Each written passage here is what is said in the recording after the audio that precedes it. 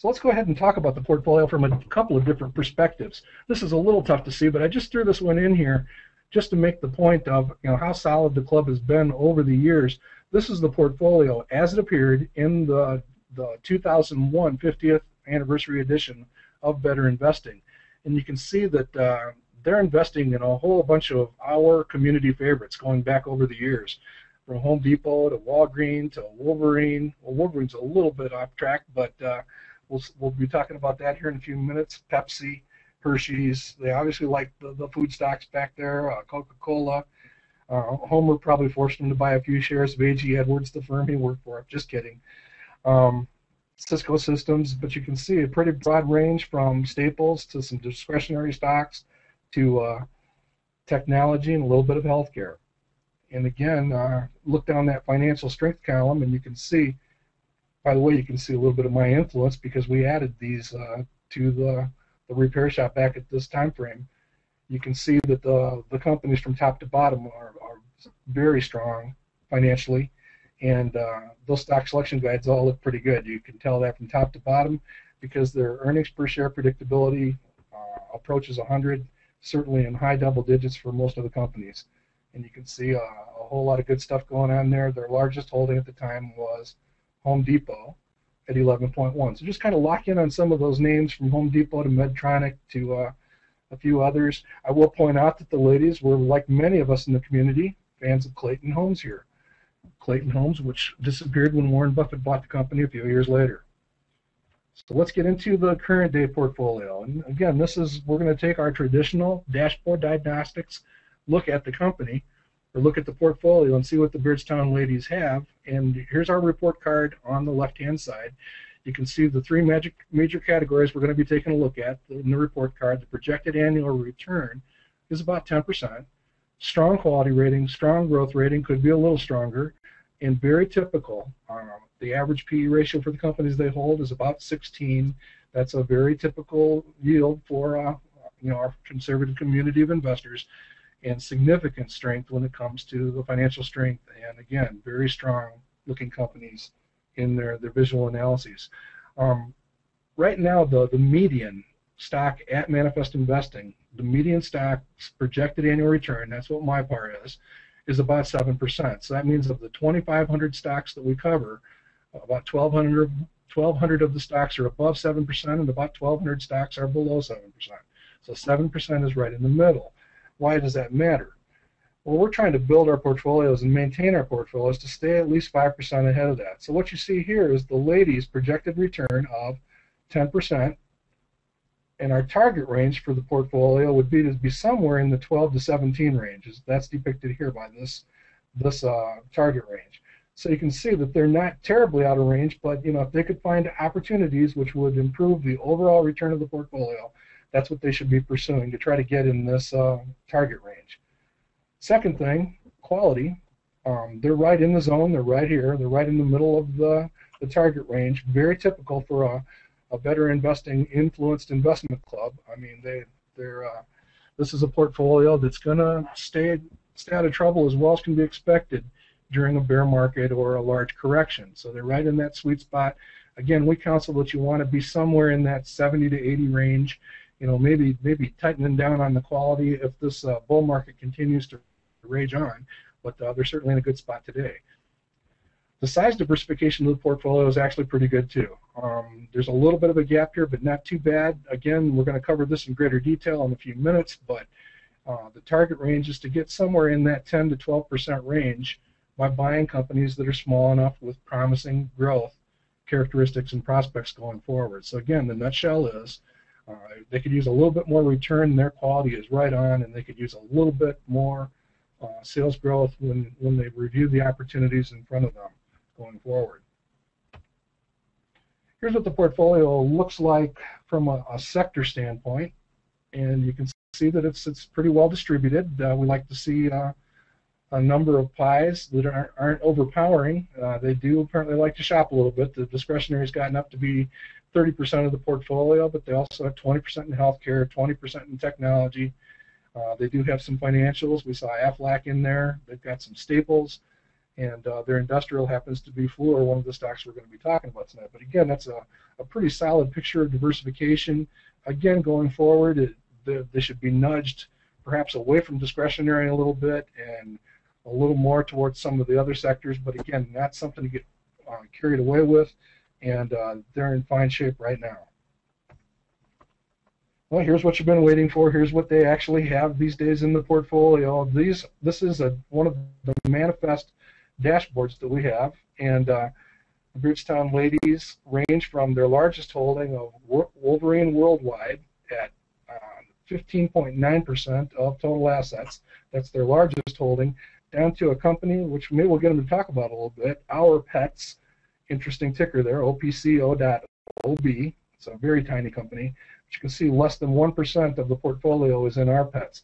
So ranging from uh, uh the largest position of Wolverine at 15.9 down to a, a, fairly small position in our pets and everything in between. Again, fairly good uh, distribution. Um, even even the position in Wolverine Worldwide, if, if it's uh, in, in good condition, is not too much to have. Um, in any investment club where they start getting up a little bit higher, we're not going to talk in great detail tonight, but you might watch for opportunities to lighten up on that position.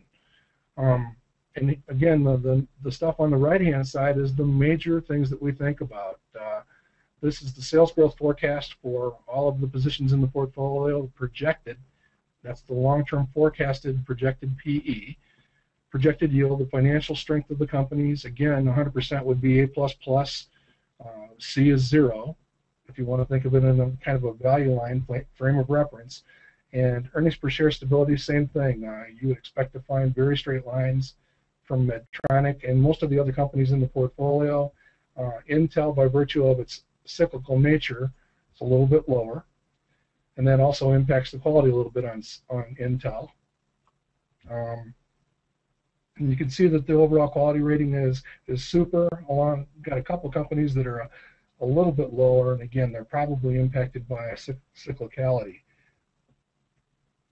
The view that we like to take a look at is to take that same uh, dashboard now, and now it's sorted from top to bottom by largest to smallest holding, and actually sort it by clicking on the projected return header. When we do that, it rearranges them and ranks the highest opportunity positions at the very top.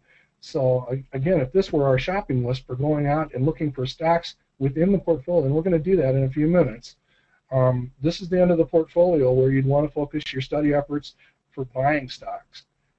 Down at the other end would be stocks that uh, are potential selling candidates by the way, here's a here's one that's a fairly local company for them, Hancock Holdings.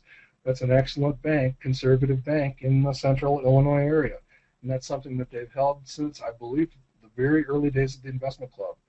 They've also held Wolverine uh, from the early days, and I'm not sure about Fluor, but I know that Wolverine's been in the portfolio for quite a long time. We'll be talking about both of these two companies, and and what we're going to demonstrate is what I see as the it's an interpretation of the challenge concept put forth by NAIC co-founder George Nicholson. And that, that process is basically to challenge or think about the stocks at the bottom of this sort, that being, in this case, Wolverine Worldwide and Fluor.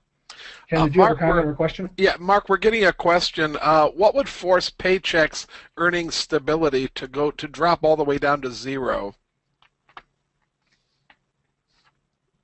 I really don't know. That's that's got to be an error in the database. I I have not I've not seen that. That's that's not right. Um, I'll take a look at it though, and I'll post it in the the, the forum after the session. All, all I can think is that some, some, something got accidentally deleted. That's a mistake. Uh, that number is pr- probably close to 80. Thanks, Ken. Any other comments or questions? We'll press on. Well, let's go ahead and take that first stock towards the bottom that has the, the weaker returns. And what we're going to do now is just demonstrate the, the simple process of uh, don't take anybody's word for it. Uh, you, you, really want to check it. When you're looking at these numbers, one of the ways I, I want everybody to always characterize them or think about them is uh, they're not my numbers, they're not Ken Kavula's numbers, what they are, what they basically represent is a sampling or a consensus of the analyst estimates that are out there. So literally, you're looking at uh, a consensus or an aggregate of uh, analyst opinions, and now we basically have to audit them or decide whether or not we agree with them. In some cases, it could be a matter of an update. I know that a couple of these companies are are very close to an update. But let's start with the one at the bottom of the list. This would be the challenge stock, at least the first challenge stock, Fluor. Uh, for those that are not familiar with the company, this is an engineering and construction company, one of the Uh, best. Mark, can I interrupt? Be- Mark, uh, before Sure. you go much further, uh, we're getting a couple people with questions. They want to know how you changed the dashboard uh, to sort on different things, just the mechanics of making it sort on different columns. Could you go over that real quickly for a couple of our folks? Sure, and and really what it comes down to is, uh, well, let's just pretend that this were the display. We can actually demonstrate this afterwards if we have a little bit of time after the session. But you can sort on any one of the columns. So you can see that. Let me go back one more page. You can see here that uh, um, this is sorted by the the value or the percent of total assets from highest to lowest. If you were on your dashboard at Manifest Investing and you clicked on quality, if you click, clicked on this header, it would sort everything in the column from top to bottom, highest quality to lowest quality. In this case, all we've done is literally click on this header, this column header par, which will take and rearrange them from highest to lowest, as you see right here. So again, for any dashboard at Manifest Investing, if you click on the column header, uh, again, it's just a form of sorting. It's kind of a form of screening um, that can be done using the, the dashboards. I've seen many people use them in watch lists, and a lot of times they'll take their watch lists uh, dashboards and sort them by quality just to uh, achieve that effect. So again, we've sorted these so that we can focus in on the shopping opportunities at the top and the candidates for potential selling decisions at the bottom. Uh, Mark, one more technical question. Can you explain the difference between the growth column and the PAR column? Okay, um, two separate things. The the growth, we're going to talk about that for Fluor here in a second. That is the top line uh, sales growth forecast. The projected annual return, and the, again, we can spend more time afterwards. I don't want to spend a lot of time on it here, but the projected annual return is literally the same thing you calculate with a, a stock selection guide, where at, at the very end of the stock selection guide, you have a figure that is the sum of the price appreciation annualized annualized price appreciation plus the annual dividend yield equals the projected return. So the assumptions that you make in your forecast, and we'll be looking at, at a uh, demonstration of this, but the projected annual return, again, is the projected price appreciation plus the dividend yield for any, any stock.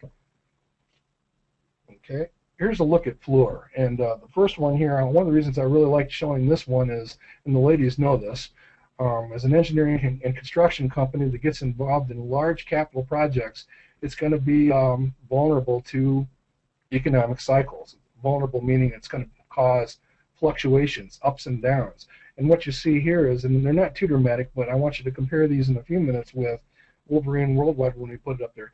You see the gaps here, that where the, the green dots are actually offline. Again, there it's gapped. It's even gapped out here in the long-term forecast. And really what we care about is the long-term trend through that data. And again, if you want to read up on this, the subjects in the Better Investing Archives, we're talking about a, a cyclical company that's also a growth, known as a growth cyclical. And uh, what, what we would always be looking for is, uh, even if the growth rate is lower, we still want to see a little bit of growth using that long-term trend and forecast that you see here. In the case of Fluor, you can make a case for anything from 7 to 9 percent for the, the long-term sales growth forecast. Here's a look at the projected annual return we were just talking about, and uh, one of the reasons I want to bring this up is um, the, the ladies have been uh, uh, experimenting with a variety of strategies, and we'll talk about them in a minute, uh, including uh, some conservative option strategies. But one of the things I find very interesting about the Fluor chart is you have this period back in here. I mean, well, let me set the stage for this. This is basically about five years of quarterly snapshots, uh, taking a look at the first of all the price. That's the green bars. These are split adjusted and dividend impacted price bars. Um, you can see that it went from a, a price back here in, in, early 2005 in the high 20s up to uh, the high 80s in uh, mid 2008 here. And then it came back down, and, and now it's actually back up in the, the mid 70s range, somewhere in here. So that's what the stock price has done. And if you had sat down and done a stock study on the company, every quarter when the value line report came out, going back for five years, you would have the red line. That is the projected annual return. So again, we know that stock prices fluctuate. You know that uh, projected returns have to fluctuate. And in this case, we're using as a proxy uh, because based on some of our research, uh, the PARs at the end of our studies very often will uh, resemble, trying to, it's kind of like using an Etch-a-Sketch. The PAR will actually resemble the value line low total return forecast. And I have a huge pile of value lines so I can actually go back and look. But one of the reasons I really like bringing this up is you see this period back in this time frame. And if you look over here to the far right, you can see that those projected returns back in that time frame for a fairly extended period were sub-zero. The projected annual returns based on the stock selection guide would have very likely been in this sub-zero range. And what I'd like to point out is, you know, we, we came out of a recessionary period, hit a fairly strong period, and look what happened to the stock price on the company. So again, uh, the stock selection guys were not that strong, but this is again is a company that's cyclical, and you had an opportunity for an extended period. You know, if you had bought back in here to, to hang on, even though the guides were weak, you may have used uh, a trailing stop loss in those cases. And here's another case where uh, back in the early 2009 timeframe, the stock selection guide looked very good. You may have been persuaded to go into Fluor at at uh, less than $40 a share, and you can see that it has subsequently gone up a fair amount. Looks like it may actually be on another one of these patterns. So again, with uh, the projected return actually coming down into this range now, we just want to be kind of mindful of what happened back here and, and just make the point that it is possible for that stock to run even further than you might have normally expected based on based on your study. And again, it's a it's a perfect opportunity to consider something like a trailing stop limit. And again, this is actually a picture perfect condition for you know why that might make sense. I'm not going to go into you know that's beyond the scope tonight, but just make a make a note of it. We're going to be talking about trailing stop limit orders more and more. Okay, so let's actually take a look at what the current situation does look like at Fluor. And what you see here is that is literally a stock selection guide. It's just presented in a slightly different format. On the left-hand side over here, what you have is a snapshot of the current conditions at Fluor, including the stock price, current PE ratio, um, current uh, profitability measured by net margins, and you can see that it's about a $20 billion company. And so this is the current day snapshot. All we're doing now is taking a look at literally what might this company picture look like five years from now. If it were to grow at 8 to 9%, as we showed from chart a few, chart, uh, a few slides back, could become a $30 billion company. If they have average profitability at that time of about 2.5%, their earnings per share would be as high as 460 if their PE at that time is is typical of the long-term average for the company, closer to 19, we could be looking at a situation where the annualized price appreciation, which you can see right here, three and a half, adds up with the dividend to a company that has about a four percent projected annual return. So again, that's not something that uh, gets us all excited. Um, in this case, it's uh, probably a hold, and then based on that picture we just had up there, a lot of squiggles on that chart, but it's one that you might want to hang on to because it's it's shown in the past that it can hang in there longer than you might have expected. So again, the summary here is left-hand side is a current day snapshot. The right-hand side is five years from now. Again, five years from now, exactly how we do on stock selection guides. What might the company look like uh, five years from now if it grows at eight to nine percent, if this is its profitability, two and a half, and uh, if the PE ratio is somewhere around 19. So again, um, it, to me, it would be a candidate for one of the covered calls that the ladies study, or one of these trailing stop limit orders, TSLOs.